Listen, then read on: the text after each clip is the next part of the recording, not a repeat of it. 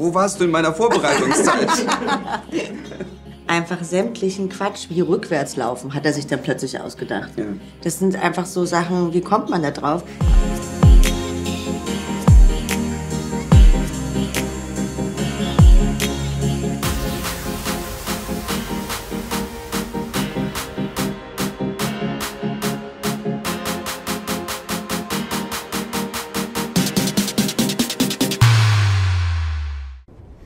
Was machst du so, Morten? Ich bin der Tod. Hm? Ähm, also, um präzise zu sein, ist ja mein Tod. Alles klar? Sonst noch was? Ich weiß, das klingt jetzt völlig bescheuert, aber er ist wirklich mein Tod und er wollte mich heute schon holen. Und ich war auch schon ein bisschen am Sterben, aber dann hast du geklingelt und dann ging das nicht und jetzt sitze ich hier und ich lebe. Noch. Noch? Du bist mir nur vorläufig von der Schippe gesprungen. Ich bin ihm nur vorläufig von der Schippe gesprungen. Ihr seid einfach zwei Vollidioten. Boah, das hat ja super geklappt. Sie ist ja wirklich eine Nette. So lebendig. Toll! Glückwunsch zum neuen Film. Ähm, mich interessiert vor allem natürlich, habt ihr das Buch vorher gelesen und äh, das Drehbuch? Was hat euch daran interessiert, gereizt, dass ihr unbedingt dabei sein wolltet hier? Also ich habe das Drehbuch zuerst gelesen, dann den, den Roman dazu, dann das Hörbuch angehört, dann einmal ein ein Skype-Gespräch mit Charlie gehabt, was merkwürdig war, weil es mitten in der Pandemie war und irgendwie super rucklig und hat sich völlig unreal angefühlt, dass man sagt, okay, wir machen jetzt diesen Film zusammen.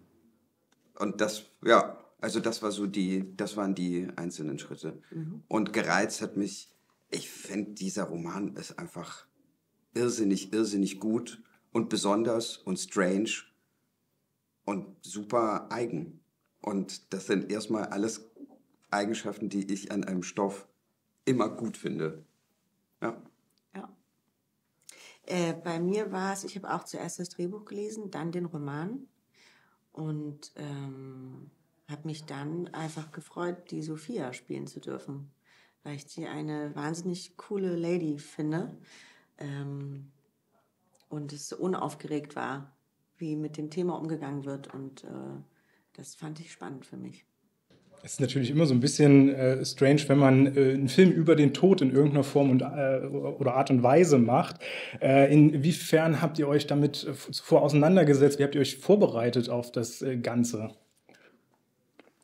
Ich glaube, das Thema, das ist Glück im Unglücklicherweise ein Thema, das uns ja sowieso beschäftigt. Also das war nichts, also wo man sich in die Gedankenwelt einfügen muss, wie weiß ich nicht, wenn man jetzt so einen Investmentbroker oder sowas machen würde und denken würde, wow, was ist das? Wie funktionieren diese Leute? Sondern es ist so, also in den, in den besten Szenen des Films führt, führt er ja so sehr in so eine tiefe menschliche Erfahrung, die jeder und jede von uns machen wird oder bereits gemacht hat. Und das ist erstmal für ein Projekt ein riesiges Geschenk. Das man automatisch emotional daran angebunden ist und das einen nicht kalt lässt. Die Vorstellung davon, und wenn man das wirklich real nimmt und sagt, der eigenen Mutter sagen zu müssen, es ist bald vorbei, ist, also ich, allein die Vorstellung davon gibt mir jetzt wieder Gänsehaut, weil das, man muss sich nichts vorstellen dabei. Es ist da. Ja. So. Also insofern, die Vorbereitungszeit war relativ wenig dafür emotional. Ja. Und es ist ja auch ein Thema, was man nicht zu Ende vorbereiten kann. Es ist ja immer neu und immer anders und auch von, von den eigenen Lebensphasen abhängig, inwieweit du dich da gerade aufmachen willst, auch dem Thema gegenüber. Es wird auch Phasen geben, wo, wo man sagt, ich möchte damit gar nichts zu tun haben. Oder wo man dem total aufgeschlossen ist und da Fragen hat oder plötzlich Antworten hat, die man ein Jahr vorher vielleicht nicht hatte. Also ich finde, das ist immer was, was man wieder neu beackern muss. Das macht es eben auch so schwierig manchmal. Ich fand ja ganz interessant an dem Film, dass er nicht nur sich mit dem Thema Angst vor dem Tod beschäftigt, sondern das Ganze ja sogar ein bisschen umkehrt und die Angst vorm Leben eigentlich so ein bisschen äh, auch mit, mit aufgreift. Ähm, also so habe ich es zumindest äh, interpretiert. Weil, Darf ich das klauen von dir? Weil ich werde das auf jeden Fall in anderen Interviews anbringen. Das finde ich richtig okay. gut. Ja. genau, da, da, wollte ich halt mal fragen, wie, wie ihr dazu steht. Also gerade weil ja auch Einsamkeit ein sehr wichtiges Element ist für die Hauptfigur ja auch. Voll, ich bin gerade voll geflasht, weil ich das eine richtig tolle Beschreibung finde. Ja, dieser Mensch hat Angst vom Leben. Mehr als vom Tod. Mehr, ne? mehr als Angst vom Tod. Dass er sich eher wirklich einen, einen schnellen Tod wünscht als ein erfülltes, langes Leben. Das ist ziemlich erstörend. Das ist sehr deep.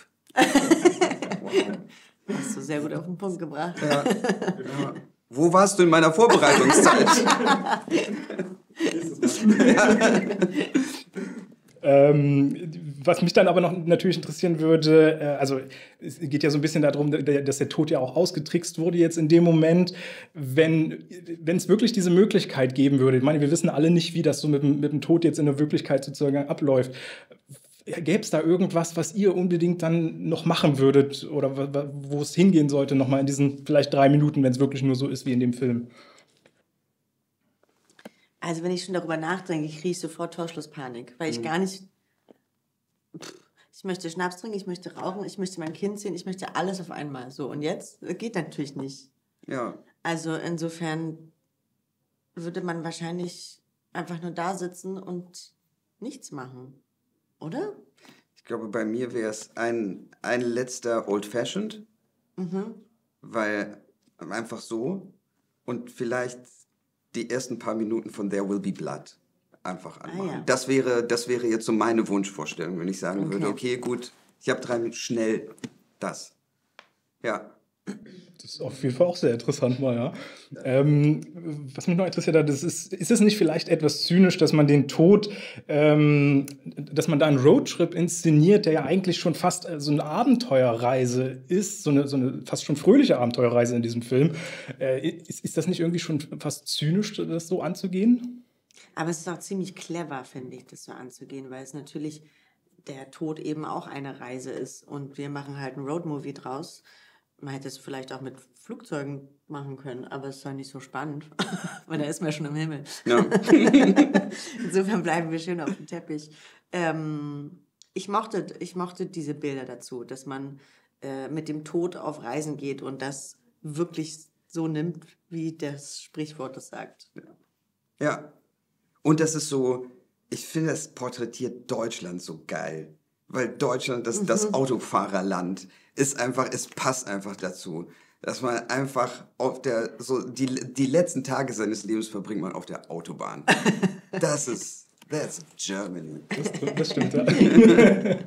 Äh, ich hatte vorhin gerade schon von Charlie und Tess gehört, dass es sogar noch eine zweite Action-Szene eigentlich gab, die jetzt gar nicht im Film vorkam. Könnt ihr vielleicht kurz mal anreißen, was da noch ge geplant war eigentlich, was da noch, oder was da noch passiert ist, was ihr gedreht habt? Welche waren das? Das war die, als sich die beiden Tode ganz am Ende begegnen. Also Ah, ja. Rainer ist tatsächlich bei seinem Sohn angekommen und, und hat so eine Aussprache mit ihm und dann taucht, taucht der böse Tod wieder auf.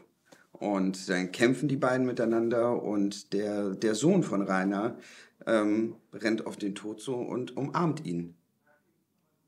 Und mit der philosophischen Haltung, wenn, wenn man jemanden umarmt, kann er einen nicht schlagen. Und dann ist er to total machtlos. Und das fand ich eigentlich immer was total Schönes. Ja, Das, das klingt echt gut. ja. Aber in der Konsequenz für unseren Film wäre es gar nicht gut, weil Nee. es würde heißen, der kleine Sohn muss auch sterben, weil er Ja, ihn ja berührt. genau. Also das war einfach, das funktioniert gar nicht. Das Das- wollen wir nicht. Nein, nein, nein. No way.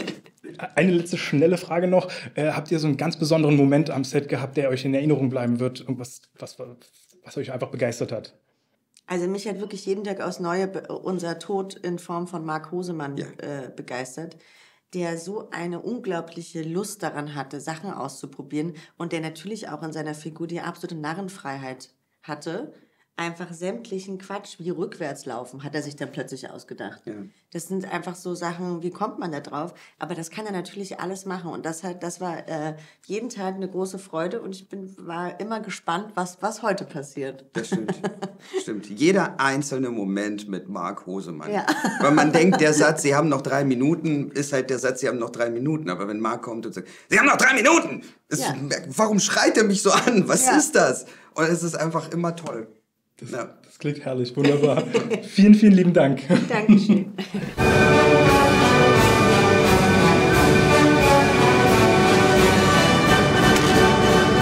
Es ist hier endlich mal wieder ein bisschen Action bei mir, weißt du?